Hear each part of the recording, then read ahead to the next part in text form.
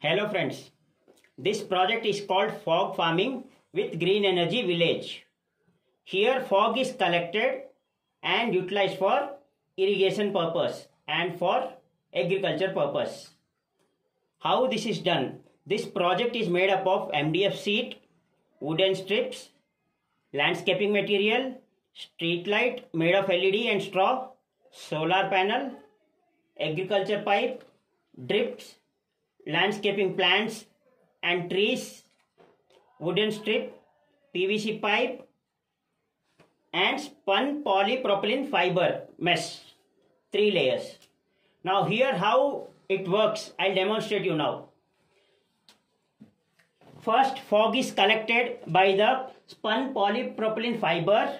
Here we don't have fog so we are using a sprayer to demonstrate how fog is collected by the spun polypropylene fiber. This mesh collects the fog where fog is stored in it and due to gravity you can see the droplets falling down.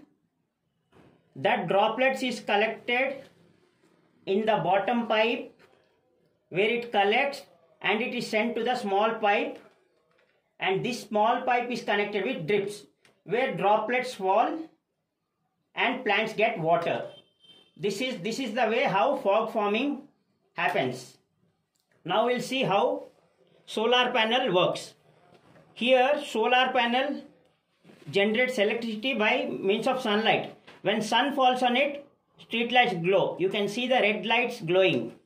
By means of photovoltaic effect it it converts solar energy to electrical energy by means of photovoltaic effect. So this is the part where green energy is utilized and this part is used for fog farming. This fog farming is used during winter days where we can collect a lot amount of water and can be utilized for irrigation or for agriculture purpose. Thank you.